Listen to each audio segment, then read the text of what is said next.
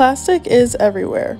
We use it every day, and it has become a large pollution problem across the globe, especially in marine ecosystems. The scary part about the material is that it has become such a big issue in such a short amount of time. Plastic has only been widely used by the public since the 1950s, when the ease of throwaway living and single use plastics were first introduced to the public. Since then, 8.3 billion tons of plastic have been produced, and virtually all that plastic is still on this planet. There are many environmental issues associated with plastics, but one of the biggest is microplastics, which are defined as pieces of plastic below 5 millimeters in diameter. They are very prominent in aquatic ecosystems, have been found to accumulate pollutants and transfer them into aquatic creatures, and have negative effects on those organisms. While we do need more studies and time to see the full extent microplastics have on aquatic and human health, this emerging contaminant is definitely something we should all be aware of.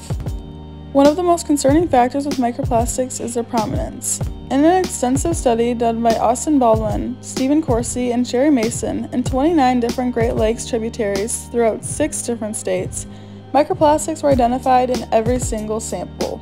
In addition to hitting close to home, microplastics are an issue far away as well. In a study done by A.J. Jamieson, microplastics were detected in six of the deepest marine ecosystems on Earth, including the Mariana Trench, which is deeper than the height of Mount Everest at more than 10,000 meters deep. So, how do microplastics make their way into the environment?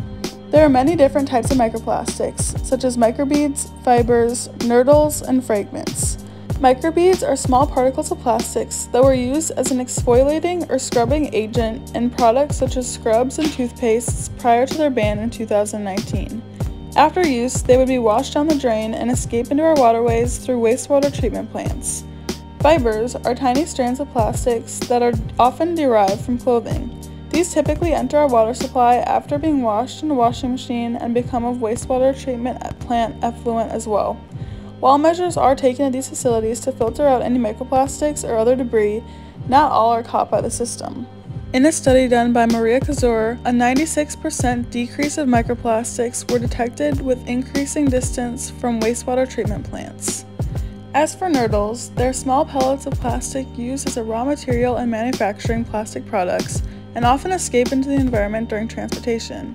Lastly, plastic fragments or secondary microplastics are small pieces of plastics that have been broken down over time by natural elements such as the sun, wind, and water. Any plastic item you use has the capability of breaking down into microplastics, whether it be a plastic water bottle or candy wrapper. So, what's the issue with these small pieces of plastics in our waterways? Once microplastics are in our lakes, rivers, and oceans, present chemicals in the water can easily absorb or accumulate on their surfaces. This presents itself to be a very large issue once aquatic organisms are exposed to the contaminated microplastics either by ingestion or through the gills. These organisms not only are exposed to the microplastics themselves, but to chemicals that can have their own toxic effects on them. Once microplastics make it into an organism, with additional contaminants or not, they can pose threats.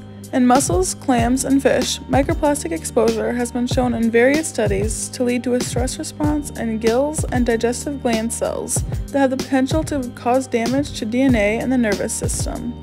If these things are negatively influenced, the overall functionality of the organism would be severely affected. A high amount of microplastics in these organisms could also lead to their digestive tracts becoming blocked or cause intestinal perforation, which can have deadly effects on organisms. As well as affecting larger aquatic creatures, microplastics have also been shown to affect microscopic ones, such as phytoplankton. Phytoplankton are tiny marine algae that have many similarities to plants on land in terms of their ability to photosynthesize.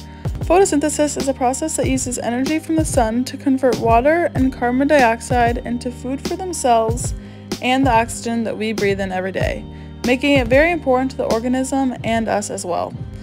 In a study by Yanmei Wu on the photosynthetic activity of phytoplankton, microplastics were found to reduce their overall productivity in the higher concentrations. Phytoplankton play a vital role in aquatic ecosystems as primary producers. In a balanced ecosystem, phytoplankton provide food all the way up the food web as the smaller organisms that originally feed on them, such as zooplankton, are eaten by larger and larger organisms. Because of this, any negative effects on them will also affect the structure and function of the aquatic ecosystem as a whole. Overall, there are a lot of questions with microplastics, and they still require many studies to be fully understood. Until we get to that point, however, there are things that we can do to slow down this problem.